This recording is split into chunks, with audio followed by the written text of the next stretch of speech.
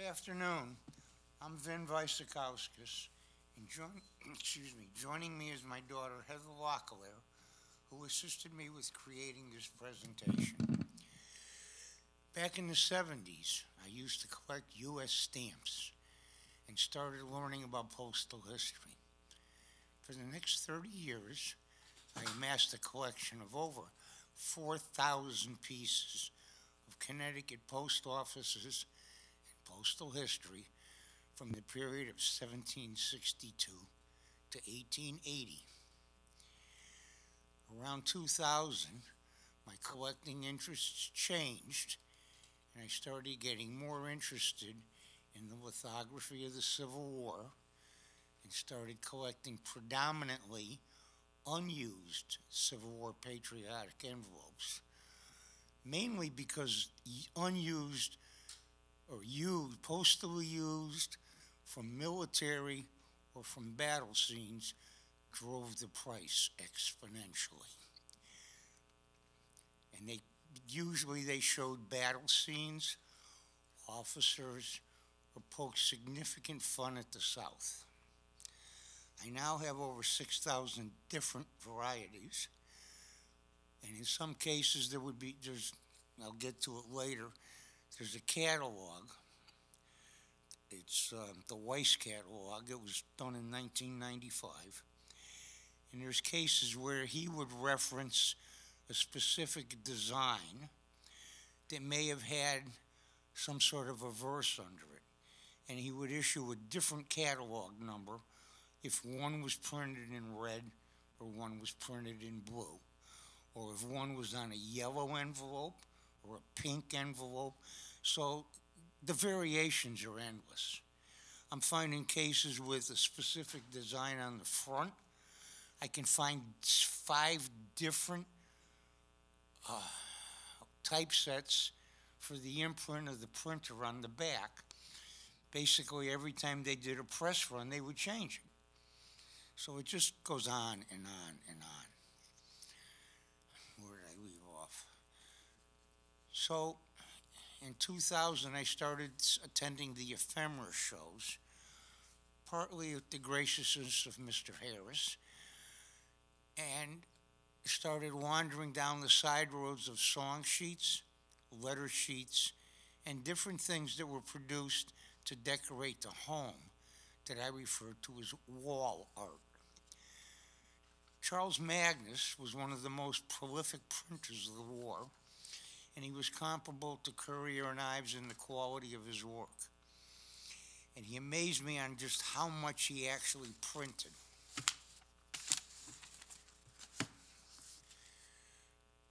I went too fast. Mm-hmm. I'm sorry. Right here. Regarding my topic of, topic of profiting from the war, there's not really a lot of information in print regarding the true profitability of the war. There was an article that appeared in the Ephemera Journal of 2010 by Rich McKinstry, who later went on to write the book on Charles Magnus. In his article, which was more of a biography, he references the census records of 1860, showing that Magnus had a personal wealth of as $1,000 as a stationer. Ten years later, in the 1870 census, Magnus was listed as a publisher, and at that point, his wealth was supposedly $5,000 in a time when the average day's wage was only 50 cents. In the same journal, Erica Piola did an article regarding the women and children at the home front and their bombardment of all the stationery of patriotic designs.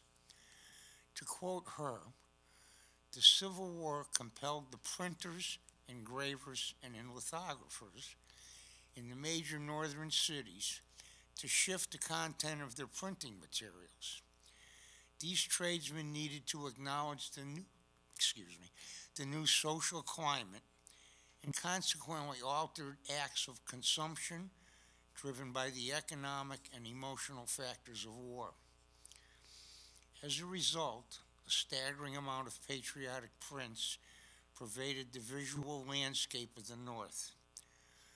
The home front became inundated with recruitment posters plastered on fences, lithographs of sensational battle scenes for sale, and material of a excuse me, smaller scale, such as envelopes, souvenir novelties, and paper toys that were printed of patriotic themes and sold and issued by stationers.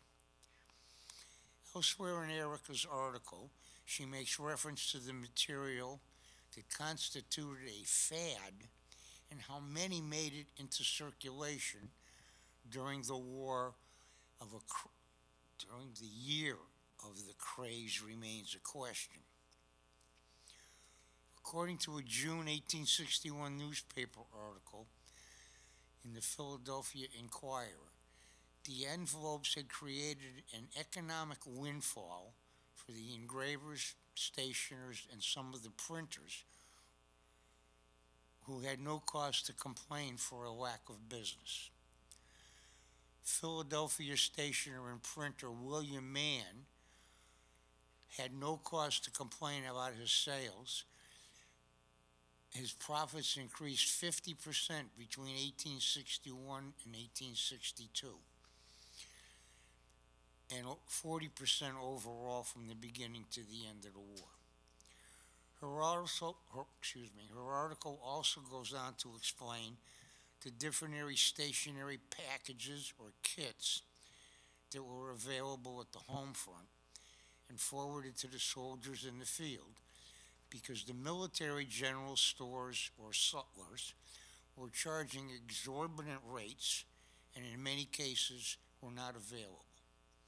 A lot of these packets, the average price was 25 cents, and in some cases, depending on the quality or content, they were almost a day's wage.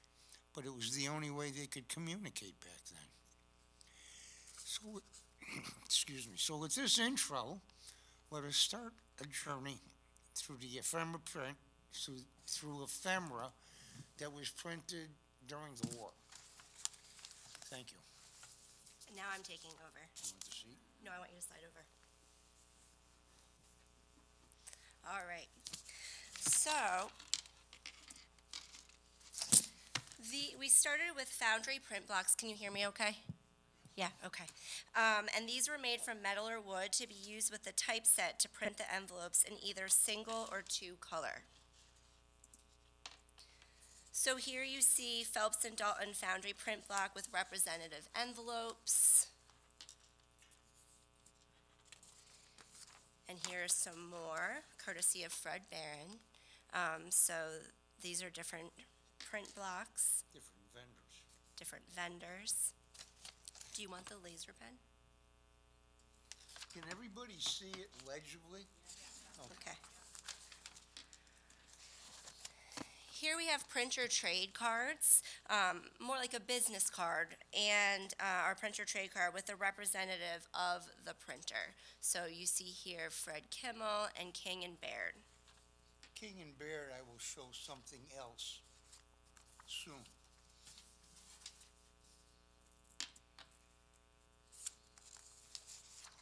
So these are more printer trade cards, Francis and Loutrel, Sage Sons and Company.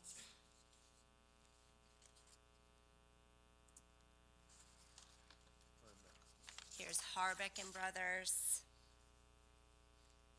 The envelope at the bottom left is beautiful, but to show the imprint, I had to turn it upside down.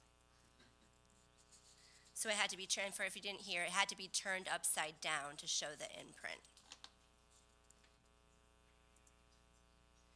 And then we get to the salesman samples. Salesman samples were distributed to stationary stores so they could purchase bulk quantity.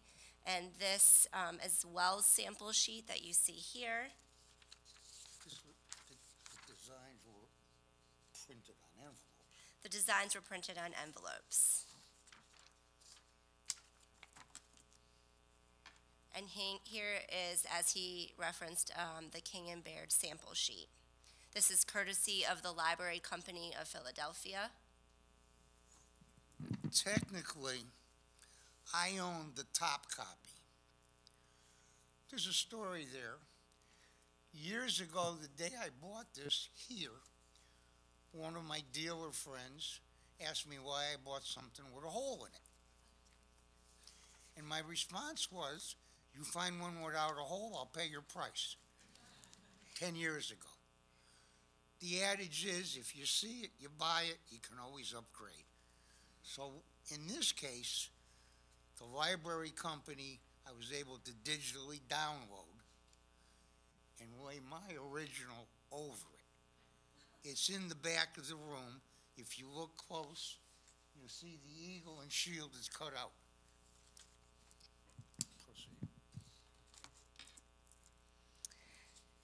So next we move on to stationary kits. Stationary kits were sold to people at the home front so that they could write to family, friends, and soldiers at the war at the war front. They usually contained multiple sheets and envelopes with a patriotic design, or they were plain, and in many cases also included a pen or pencil to go with them. And jewelry. They were women. And jewelry because they were catering to the women to write to their soldiers in the war. So the one that you see here is from Gibson and Company.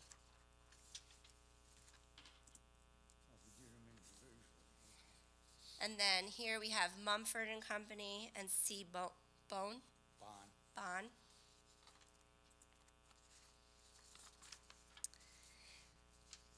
And here we have Magnus's half dollar portfolio.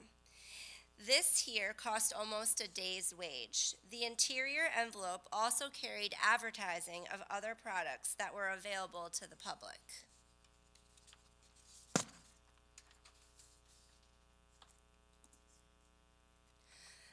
Song sheets were used by the families to sing along to when they got together at home or those in the soldier camps at night. And so we have a couple different varieties that we'll be showing you here. There's some from James Magee. And then quite a few from Charles Magnus. I tried not to make the whole presentation Magnus. I could have. So You gonna, go on, Philip? here's the Magnus Love Thee song. Um, seen here on the left hand side, it shows five varieties of the same song with different vignettes, and he did this to attract more sales. So it was the same song done five different times, and he could sell it and make more money that way. At the bottom, you can't see it on these, at the bottom, he referred to five hundred varieties. One from column A, one from column B, and mix them all up. And then on the right are the military and patriotic songs, and this was an accordion style of six different song sheets.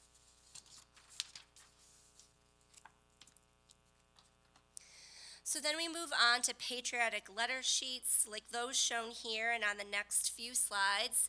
Um, they included a patriotic design and then blank lines.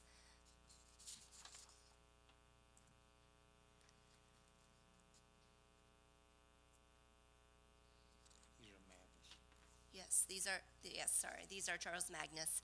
Um, before was James Magee. There's, and the, the ones that aren't labeled here are also Charles, Charles Magnus. There were quite a few. Displayed here are printed labels for an accordion file that was engraved by Haynes, printed by Nathan Sawyer, and distributed by Whitmore.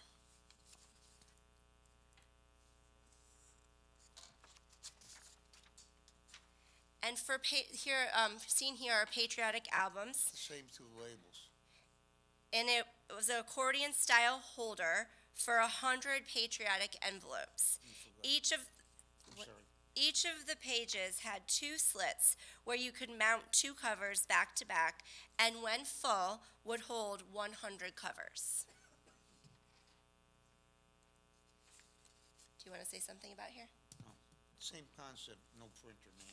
So this vendor was unknown, the printer was unknown here, so the same concept as the one we just showed before. And here is a Union scrapbook. I got that from you, didn't I? It's a mess. I gotta send that out and get it. Here is a contemporary scrapbook. This contemporary scrapbook number two was owned by Bates Wally, and it was created January 10th, 1862. It is one of the three that my dad owns. Can you read it there? The, the paid newspaper? Okay. Um, so, well, I have it. So, this is an opening cover for an exhibit explaining how they were already promoting collecting as a hobby. It reads A collection of union envelopes in a few years from now will form a most valuable and pleasing curiosity and will be sold at double the original cost. I wish it was only double.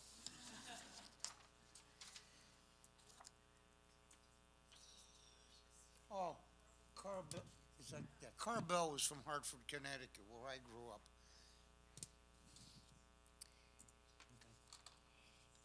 So here's the catalog that my dad was referencing earlier from Weiss. In the introduction of this book, Mr. Weiss references 6,000 varieties within the book. He also lists 230 different names appearing on envelopes that are either printers, engravers, or retailers. Me a second. Of the six thousand, You have to talk into the microphone. within my, excuse me, I get too close. Within my collection, I probably have four to five hundred that aren't even in the book. Everything in the book was relevant to him looking at other people's collections. And from my understanding, he was a contrary old man and didn't want to, didn't want to cover the price to look at somebody else's stuff. So he didn't see everything. There's a lot of cases where there's verses that aren't listed because of that. There were, there were common designs like an eagle and a shield, and there could be twenty or thirty different by the verse that they wrote underneath. So, I'm still trying to find them all. I've heard referencing that there's over ten thousand The next few slides show small groups arranged by topic from 56 different chapters within the book. Seen here are Washington and Lincoln.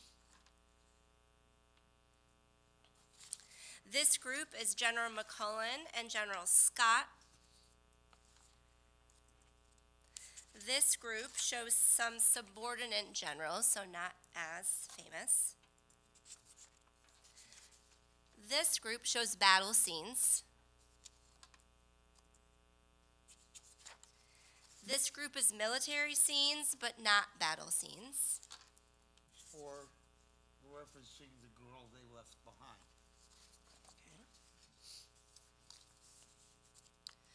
This group shows camp scenes and army hospitals. This group shows caricatures of people or animals poking fun at the South. These chapters account for 20% of the total catalog.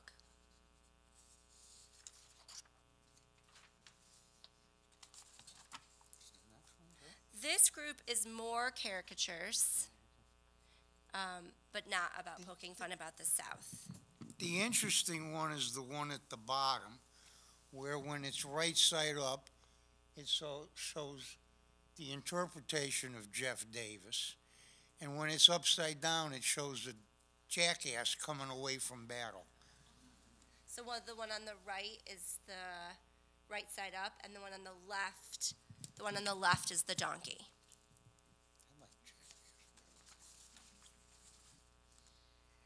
This group is obviously flags.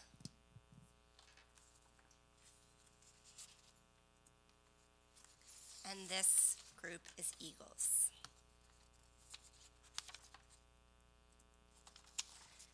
And lastly, this group is allegorical figures. Man and woman.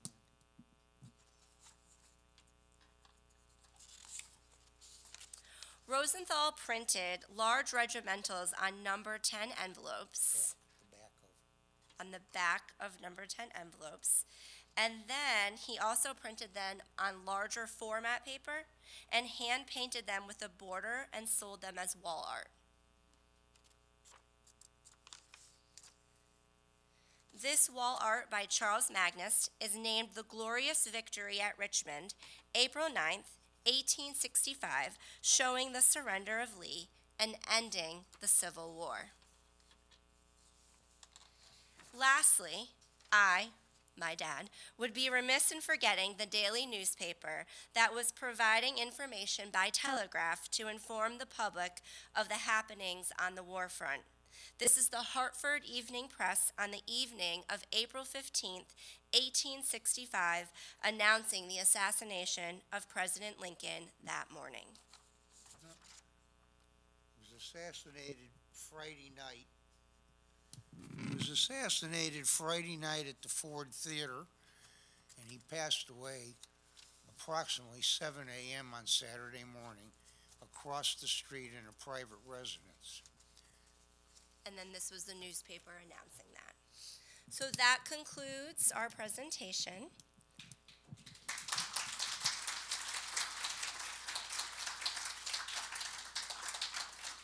Do you want to do questions? Okay, I think we have time for questions. I will not be answering such questions, so you might want to come closer.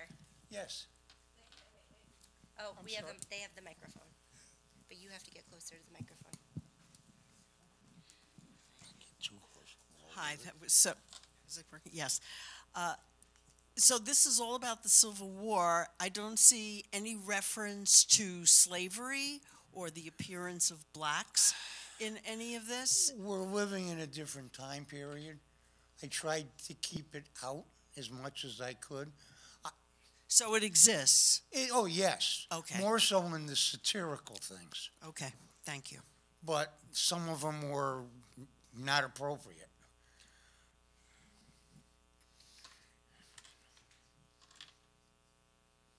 Good. No, Oh. Hold on. There's another one. You're fine. I ask that. I asked what, so we're right on time. That's right. For the, um, the patriotic album to which you would add the patriotic covers, The accordion style. the style? accordion style, Yes. um, do you know when they started selling those and how long after the Civil War they continued to market those? I can't answer that. I'm, I'm, I'm more of a pack rat collector than I am a student. I mean, that's the reality of it. I buy something, put it in a drawer, and look at it every, every six months. That's if I got enough money to keep buying things. But no, I, I, I want to say, well, there was actually some patriotic designs th- that existed before the Civil War, before Sumter was bombed, as things were leading up to it starting. Afterwards, it probably continued because there was a great promotion as a collectible and scrapbooking. I want to say that I've only shown Union here.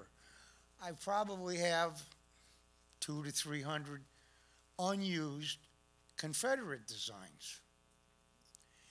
And between what I've read and talked with other dealers, probably three quarters of them were printed after the war as a collectible, not relevant to the war. So most of the ones that I have, the only way I could prove them would be to find a representative copy postally used, dated during the war. But most of mine are all unused, so I just, I don't know why I buy them, but I just keep throwing them in a box. Yes. Microphone?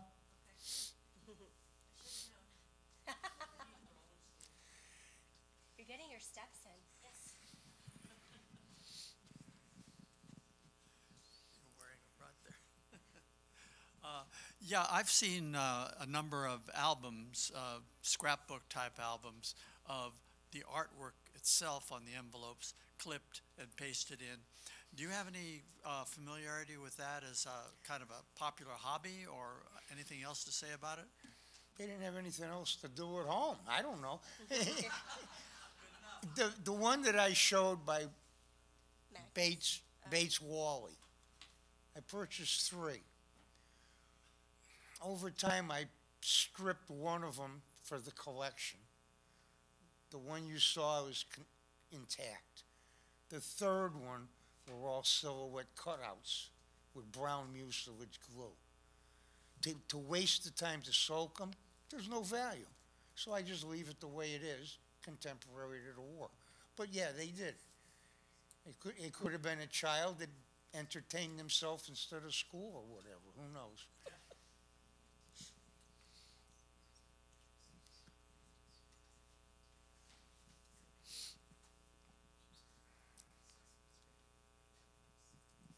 So Vinny, what's your most exciting find recently? That's a, that's a loaded, well, one of the, my Keep it brief. most, one of my most was the King and Baird. The salesman sample. Yeah. You know, that, that's one of the, unfortunately, it's got the hole in it. And I'm waiting for somebody to find me a good one. Good luck. I don't, I don't recognize her because the picture I have is from twenty ten. I've been talking with Erica Piola. There you go. Well, the picture in the journal is from twenty ten. Um, it's amazing the amount of quantity that's at the library company that was all donated by John McAllister, contemporary to the war. And it's all pristine. The original under mine was lifted from that. I just purchased a broadside that I, it's up in the back, you could look at, with a McAllister name for a store. And sitting in the other side for me to get tomorrow, I purchased an eight and a half by eleven of twelve different uh, tickets admitting people to the sanitary fair, and McAllister's name is one on one of them. So, yeah, they're, they're all exciting.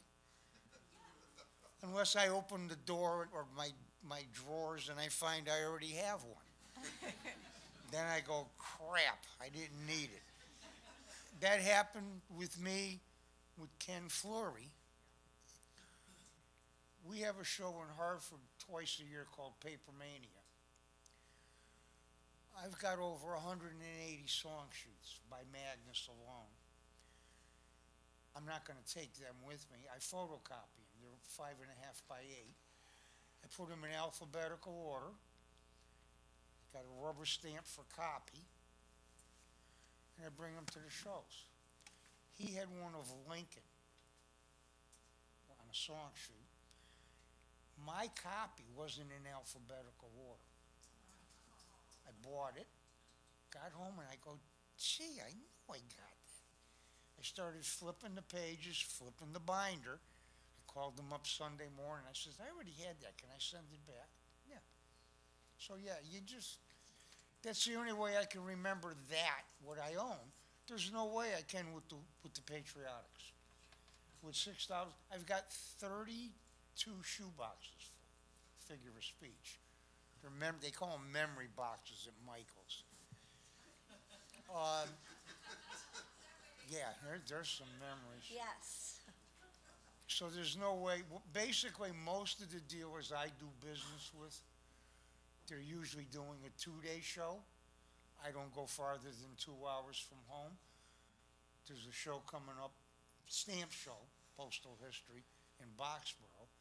I'll see the dealer on Friday. He just purchased forty-nine hundred unused patriotics last summer. He's broke, he's the only one that breaks them down by catalog. I bring home a section, being already numbered, I can buzz through them. Saturday, I bring them back and settle up with them. That's the safest way.